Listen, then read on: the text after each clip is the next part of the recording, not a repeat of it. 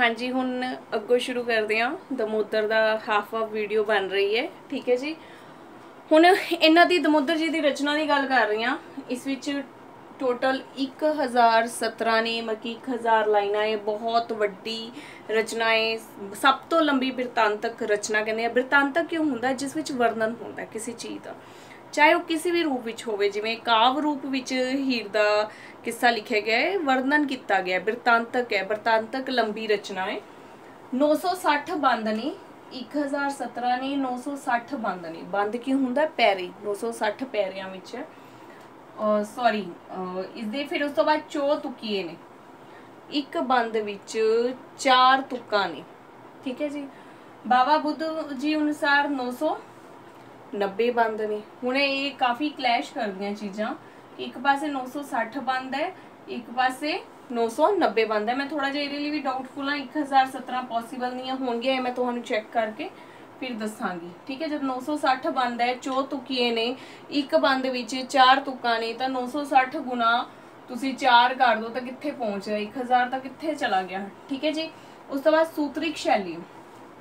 ਸੂਤਰਿਕ ਸ਼ੈਲੀ ਵਿੱਚ ਉਹਨਾਂ ਨੇ ਜਿਹੜਾ ਹੀਰ ਦਮੋਦਰ ਦਾ ਕਿੱਸਾ ਲਿਖਿਆ ਹੁਣ ਜਿਹੜੀ ਸੂਤਰਿਕ ਸ਼ੈਲੀ ਹੈ, ਇਸ ਦਾ ਜਨਮ ਦਾਤਾ ਵੀ ਜਿਹੜਾ ਦਮੋਦਰ ਨੂੰ ਮੰਨਿਆ ਜਾਂਦਾ ਹੈ।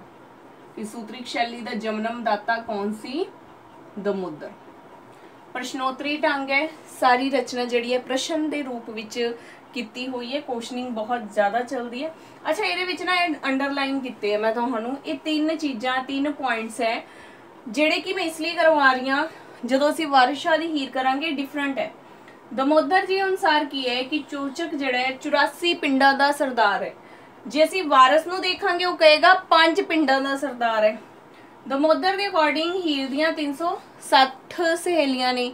ਜੇ ਅਸੀਂ ਵਾਰਸ ਨੂੰ ਦੇਖਾਂਗੇ, ਉਹ ਕਹੇਗਾ ਹੀਰ ਦੀਆਂ 60 ਸਹੇਲੀਆਂ ਨੇ। ਦਮੋਦਰ ਜਿਹੜਾ ਕਹਿੰਦਾ ਹੈ, ਸੇਤੀ ਦਾ ਇਸ਼ਕ ਰਾਮੂ ਬ੍ਰਾਹਮਣ ਨਾਲ ਸੀ। ਜੇ ਅਸੀਂ ਵਾਰਸ ਨੂੰ ਕਵਾਂਗੇ, ਉਹ ਕਹੇਗਾ ਮੁਰਾਦ ਬਲੋਚਨਾ ਸੀ। ਇਹ ਤਿੰਨ ਚੀਜ਼ਾਂ ਤਾਂ ਬਿਲਕੁਲ ਹੀ ਡਿਫਰੈਂਟ ਹੋ ਜਾਂਦੀਆਂ ਨੇ। ਨੈਕਸਟ ਉਸਨੇ ਜਿਹੜਾ ਰਾਂਝੇ ਦਾ ਕੈਰੈਕਟਰ ਹੈ, ਉਹ ਕ੍ਰਿਸ਼ਨ ਦੇ ਸਮਾਨ ਦੱਸਿਆ। ਕ੍ਰਿਸ਼ਨ ਭਗਵਾਨ ਜੀ ਜਿਵੇਂ ਲੀਲਾਵਾਂ ਕਰਦੇ ਸੀ, ਮੱਝਾਂ ਚਾਰਦੇ ਸੀ। ਠੀਕ ਹੈ ਨਾ, ਉਸੇ ਤਰ੍ਹਾਂ ਰਾਂਝਾ ਕੀ ਹੈ? ਮੱਝਾਂ ਚਾਰਦਾ ਤੇ ਜਿਹੜਾ ਰਾਂਝੇ ਦਾ ਕੈਰੈਕਟਰ ਉਹਨਾਂ ਨੇ ਕੈਰੈਕਟਰ ਜਿਹੜਾ ਕ੍ਰਿਸ਼ਨ ਵਿੱਚੋਂ ਕੜਿਆ ਹੈ, ਰਾਮੂ ਬ੍ਰਾਹਮਣ ਇੱਥੇ ਵੀ ਹਿੰਦੂ ਆ ਰਿਹਾ ਹੈ, ਕ੍ਰਿਸ਼ਨ ਵੀ ਹਿੰਦੂ ਆ ਰਿਹਾ ਪਰ ਅੱਗੋਂ ਜਾ ਕੇ ਉਹ ਕੀ ਕਹਿੰਦਾ ਹੈ, ਹੀਰ ਦੇ ਮੂੰਹੋਂ ਰਾਂਝੇ ਨੂੰ ਪੀਰ ਵੀ ਅਖਵਾਇਆ।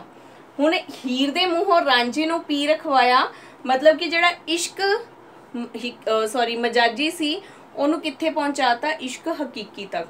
ਦੁਨਿਆਵੀ ਪਿਆਰ ਨੂੰ ਕਿਸ ਦੇ ਨਾਲ ਜੋੜਦਾ? ਪਰਮਾਤਮਾ ਦੇ ਨਾਲ।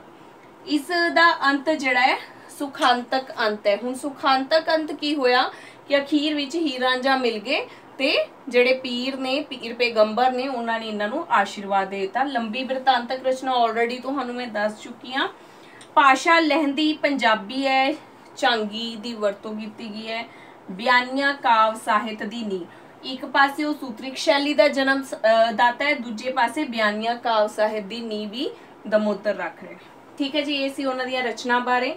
ਅੱਗੋਂ ਮੈਂ ਇੱਕ ਗੱਲ ਦੱਸ ਰਹੀ ਹਾਂ, ਜਿਹੜੇ ਸਾਡੇ ਸਰ ਰਿਚਰਡ ਟੈਂਪਲ ਹੈ। ਇਹ ਨਾਮ ਯਾਦ ਰੱਖਣਾ, ਇਹਨਾਂ ਦੀ ਬੁੱਕ ਹੈ ਲੀਜੈਂਡ ਆਫ ਪੰਜਾਬ ਇਹ ਵੀ ਤੁਹਾਨੂੰ ਯਾਦ ਰੱਖਣੀ ਪਏਗੀ ਲੈਜੈਂਡ ਆਫ ਪੰਜਾਬ ਰੀਜ਼ਨ ਇਹ ਕਿ ਬਹੁਤ ਇੰਪੋਰਟੈਂਟ ਹੈ। ਜੇ ਅਸੀਂ ਪੀਲੂ ਦਾ ਮਿਰਜ਼ਾ ਪੜ ਰਹੇ ਹਾਂ ਉੱਥੇ ਵੀ ਇਹ ਰਿਲੇਟ ਕਰਦੇ ਆ। ਜੇ ਅਸੀਂ ਨਾਦਰ ਸ਼ਾਹ ਦੀ ਵਾਰ ਪੜ ਰਹੇ ਹਾਂ, ਉੱਥੇ ਵੀ ਇਹ ਰਿਲੇਟ ਕਰ ਰਹੇ ਨੇ।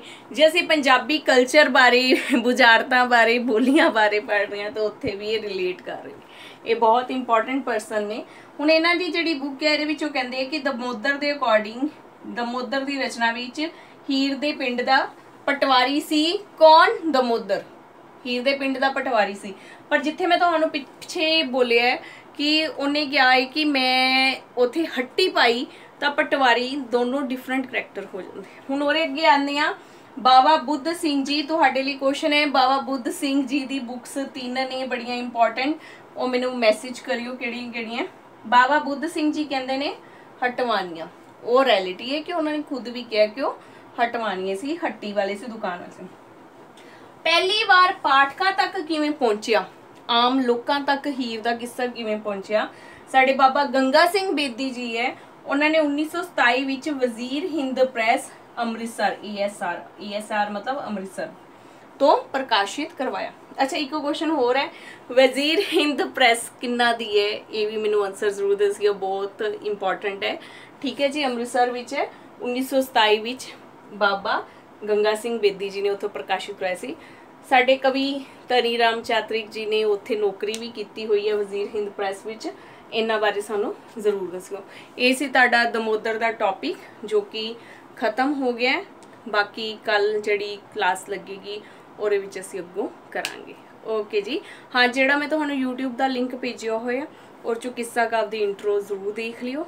ਤੇ ਪਹਿਲੇ ਕਵੀ ਸਾਡੇ ਦਮੋਦਰ ਹੈ, ਜਿਹੜੇ ਮੈਂ ਤੁਹਾਡੇ ਕਰਵਾ ਦਿੱਤੇ